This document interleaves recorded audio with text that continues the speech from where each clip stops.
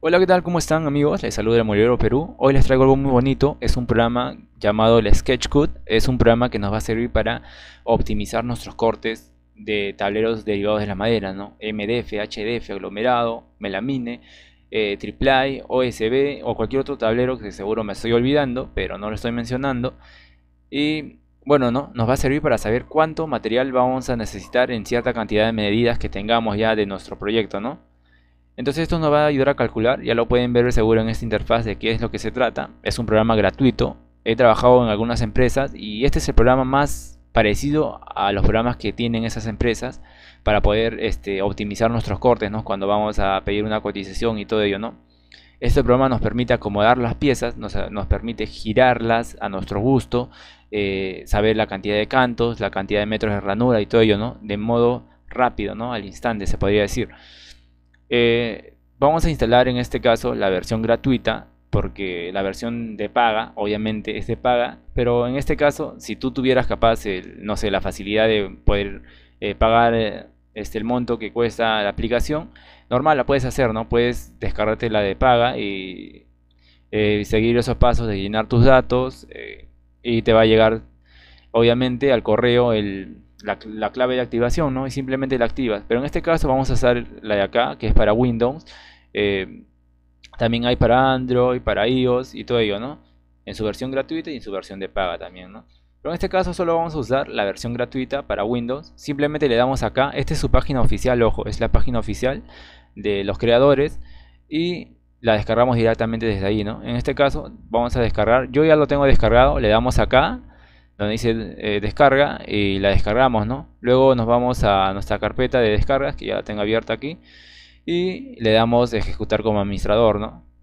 En este caso ya lo tengo instalado, sigue, simplemente sigues los pasos, ¿no? Ejecutar como administrador, le das eh, eh, permitir, o sea, te va a pedir permisos para del sistema, le das que sí, luego seleccionas el idioma, luego le das siguiente, siguiente, siguiente y se instala, ¿no? Y ya tenemos el programa acá ya tenemos acá el programa, lo abrimos, lo ejecutamos eh, y nos va a aparecer así, ¿no? Por ejemplo, nos dice, nos pide acá, ¿no? Modo de demostración, activar y salida, ¿no? Activar es si tuvieras la clave de activación, la das ahí. Pero en este caso es gratuito, ¿no? Usamos el modo de demostración siempre.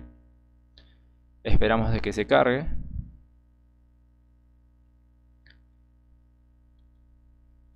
Eh, la instalación, eh, vamos a esperar que se ejecute el programa. La instalación es súper rápida no te va a demorar nada. La descarga, el programa pesa 20 megas, no pesa nada. Así que no, no vas a esperar mucho el momento de instalarla, ¿no? Pero yo quiero que el video no se haga muy largo, ¿no? Pero esta es la parte más importante. De instalarlo y todo ello es súper fácil. La parte de, configurar es un poco más, más complejo, ¿no? No tanto, pero es lo más difícil, ¿no? Bueno, acá al inicio, cuando es la primera vez que lo instalas en tu PC, en tu laptop, eh, te va a aparecer eh, una especie de opción de unidades de esta forma, ¿no? Si no apareciera, vas a menú y buscas unidades, ¿no? Y acá algo así te va a aparecer al principio, que donde dice seleccionar en pulgadas, milímetros y todo ello, ¿no? Obviamente, lo que es tema de muelería se trabaja en milímetros. Le das en milímetros, le das OK, luego eh, te va a botar acá en parámetros.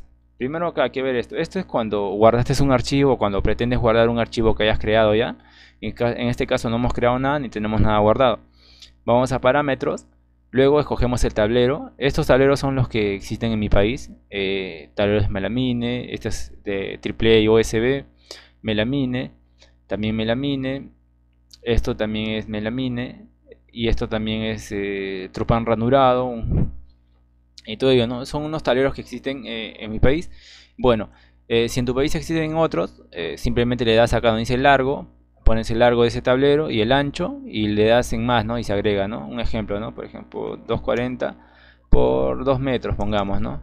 2000, ¿no? Le das más y se agrega. Pero en eso no existe en mi país, así que lo voy a borrar. Eh, con el cual trabajo mayormente es con el de 244 por 214, el más común, ¿no? Luego, eh, escojo el grosor de la sierra. Eh, la mayoría de sierras son de 3, de 4 y de 5, ¿no? En este caso, en donde voy, es de 4. Luego nos dice desplazamiento de borde, que eso quiere decir que mayormente lo que es melamine, más que todo, vienen los bordes astillados, ¿no? Las puntitas astilladas. Y eso es, necesario refilarlo. ¿Qué quiere decir eso? Dejarlo liso, ¿no? para que no nos haga ningún problema en el momento de poder armar nuestro mueble, no nos bote capaz un milímetro y todo ello, ¿no? Por eso es necesario refilarlo, quizás queramos pegarle canto, también refilarlo, ¿no? Sí o sí tenemos que refilar el tema de los cortes, siempre, ¿no? Por el tema de que a veces en el proceso de, de guardarlo, en el proceso de, de sacar el tablero, los mismos eh, trabajadores capaz de la tienda donde vamos a prestar el servicio lo terminan quiñando y todo eso para evitarnos cualquier tipo de complicación es bueno refilar, ¿no? La mayoría de refilados son de 5, de 7 a, a 1 centímetro por borde en algunos lugares. En este caso, en el lugar donde voy es de 7 milímetros por lado, 7 aquí y 7 aquí, ¿no? Nos va a reducir 14 milímetros de ancho y 14 milímetros de, de largo, ¿no? Ya luego acá escogemos el, método de corte, ¿no? En este caso el método de corte eh, tenemos entre largo, que es corte horizontal de esta forma, y corte vertical, ¿no? En ancho, de esta forma. Si tuviéramos la versión de paga, podríamos escoger combinar estas dos opciones en uno solo, ¿no? El corte óptimo, pero en este caso no, solo voy a escoger la de corte largo, ¿no? De forma horizontal. Luego acá tenemos la opción de los cantos, ¿no? O los bordes. Eh, esos bordes que se le pega los bordes capaz de la melamina el aglomerado, ¿no? Para que no le afecte la humedad o un, este, una forma de embellecer ya la, la melamina, ¿no? Existen cantos delgados y cantos gruesos, ¿no? El canto delgado es de 0.45 y el grueso es de 3 milímetros. En este caso la línea recta eh, está representando el canto delgado y las líneas separadas en guiones está representando el canto grueso. Luego de haber llenado todo esto pasamos a partes. Acá añadimos nuestras medidas. En este caso quiero una medida de estas, ¿no? De, eh, otro dato, ¿no? Que cuando nosotros vamos a las tiendas melamineras, nos dan una hoja, la cual nosotros llenamos nuestras medidas. Y ahí viene primero cantidad, luego largo, luego ancho, luego capaz este el lugar donde vamos a cantear, las perforaciones para bisagra o ranura y todo ello, ¿no? En este caso solo viene de esta forma, ¿no? Es súper eh, rápido eh, nos viene largo, nos viene ancho. En este caso quiero que la pieza tenga un largo de un metro y un ancho de 40 centímetros, ¿no? Y quiero 8 piezas de esa misma medida. Y acá quisiera una pieza de 50 centímetros y que tuviera un ancho de 200, ¿no? De 2 o 20 centímetros. Quiero 4 de esas piezas. en esta opción es para que pueda girar. Si, no le damos esta opción, eh, la pieza va a entrar de esta forma, respetando esta medida, ¿no? va a entrar por aquí 1000 por acá este 1000 por acá 500 pero de esta forma no como está ahí. Pero si le damos girar podemos modificar el gráfico no en este caso vamos a trabajar con un quizá con un melamine blanca que puede entrar por donde sea o rojo no sé un color unicolor y no va a ser con betas. Entonces no es necesario que respete nada no que entre por donde sea. Ya le damos ahí girar luego pasamos a remanentes acá remanentes es por si acaso nosotros tengamos tengamos algún retazo de un proyecto anterior, eh, un retraso ¿no? de quizá de 2 metros por 1 metro, en el cual puede entrar fácilmente alguna de esas piezas para poder aprovecharlo, ¿no? Pero en este caso no tenemos ni un retazo, el cual podamos aprovechar, así que no le damos nada, ¿no? Pasamos al siguiente donde dice los bordes. Acá está el tema de los cantos. Bueno, el canto delgado, línea recta, el canto grueso, líneas separadas, ¿no? Por eso, y acá está igualito, ¿no? Pongamos de que acá quiero ponerle primero en los dos largos, quiero ponerle delgado y después en los anchos quiero ponerle grueso. De esta forma, salen ahí identificados y acá nos aparecen las medidas de esas. Automáticamente al toque nos aparecen las medidas. Acá quisiera un delgado, un grueso, un delgado, un grueso y automáticamente va subiendo, ¿no?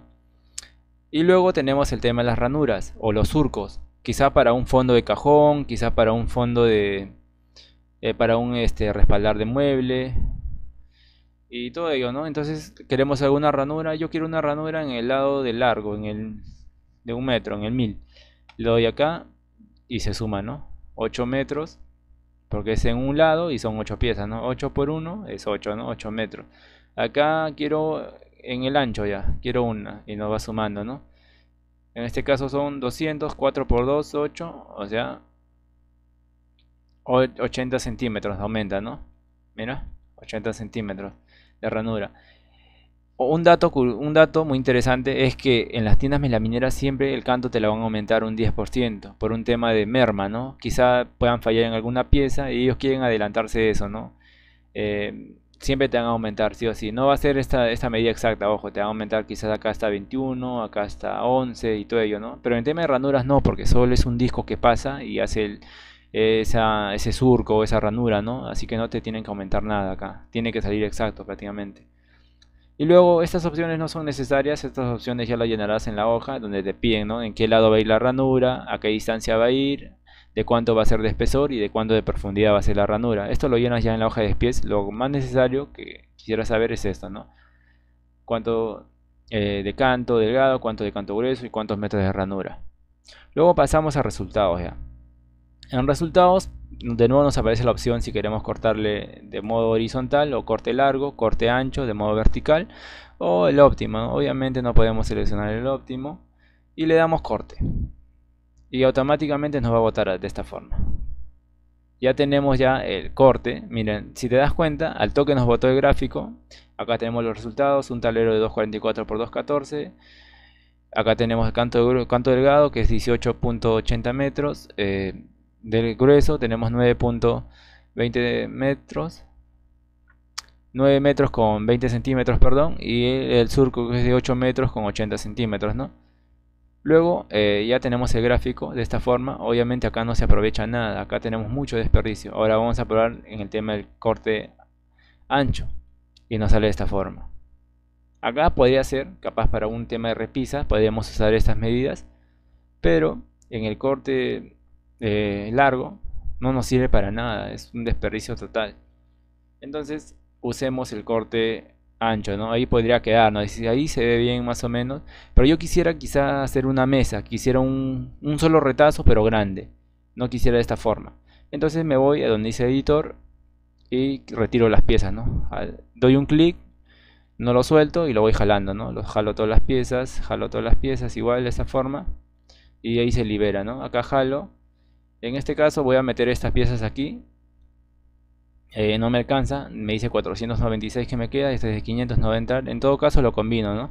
Combino acá y pongo este cuadro, ¿no? Que dice la opción, este cuadro de acá lo va a combinar y lo manda de modo largo, ¿no? Ahí sí me va, me va a entrar esa pieza, la pongo y ahora de nuevo la vuelvo a combinar, ¿no? Y hago un corte. Y acá también para que sea un solo retazo, hago lo mismo, tengo un retazo de 10 centímetros por un metro, ¿no? Ahora aquí esto lo puedo girar para que pueda entrar verticalmente. Y ingresa bonito, ¿no? Ahí ya se va viendo las mejoras. Ahora quisiera hacer un corte horizontal. Le doy aquí. Y me va a cortar, no me va a aprovechar. El corte se va a ir de esta forma, para allá. Para allá se va a ir. Y me queda el mismo espacio, ¿no? De 1 metro 14. Porque si le daba solo vertical, me va a aparecer un metro. Entonces le doy horizontal, ¿no? Y aprovecho todo, ¿no? Al máximo y así. Ahí tenemos este cuadro, mira, que es de 1,31m por 1,14m. No es que ahí sí se ve bien bonito. Ahí sí se, está, sí se está aprovechando al máximo el tema de los cortes. Al máximo se está aprovechando. Bueno, eh, espero te haya gustado el video. Espero en verdad haberte ayudado en tema de tus cortes. Eh, este programa, en este caso he introducido algunas, solo algunas piezas. Puedes introducir infinidad de piezas, bastantes piezas en verdad. Y este programa va a seguir trabajando igual de, bien. Puedes acomodar piezas y todo ello como ya lo viste. Eh, esta opción es para girarla, seleccionas y le das acá a girar, nada más. Y la devuelves de nuevo y la pones de nuevo, ¿no? Para eso. Las demás opciones no se puede usar porque eh, son de paga. Acá puedes seleccionar el color de tus cortes. Pero en este caso me gusta que se vea de ese color, ¿no? Para poder ubicarla. Y bueno, esas opciones no se podrían usar porque no es el modo de paga, ¿no? Pero el modo gratuito funciona igual de bien, ¿no? Solo que es una parte manual. Yo sé que tú, es, al ser adicto al tema de los cortes, adicto a la madera, te, te, va, te va a gustar tomarte el tiempo de acomodar tus piezas y ir con imprimir tu gráfico de esta manera, acá donde dice imprimir, eh, y mandarle a mandarlo a tu a tu tienda, ¿no? Acá ya te está botando el tema de cómo va el gráfico, te das cuenta así va a ir. Eh, te va a gustar ir a tu tienda con tu gráfico ya impreso y decir, ¿sabes qué? Quisiera que me lo corten así, quisiera que me hagas el gráfico así. Y obviamente te lo, te lo van a hacer, ¿no? Y bueno, eso sería todo. Espero haberte ayudado. Espero que te sirva bastante. En verdad, esto lo hago con mucho cariño para todos ustedes, para que sigan creciendo.